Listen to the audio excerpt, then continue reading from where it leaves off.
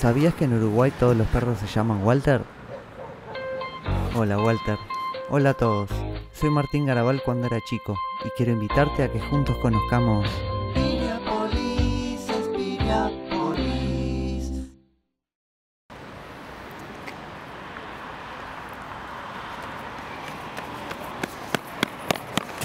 Hola, estamos en Piriápolis.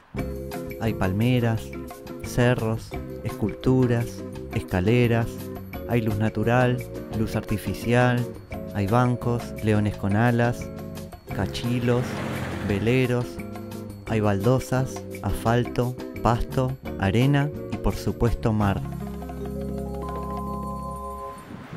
Mirar el mar me relaja, me hace sentir muy bien respecto de la vida. Por eso lo miro, y él me mira a mí. El agua bate las arenas sin cesar, contándole los cuentos viejos que otras aguas les contaron en la misma playa a otras arenas. Ja ja ja, fa, qué alegría que tengo de estar en Piriápolis. Su amplitud y su belleza colman todas mis expectativas. Acá nadie está apurado. No falta la fiesta, la aventura y el ritmo. Acá, en Piriápolis, todo es muy salvaje y divertido.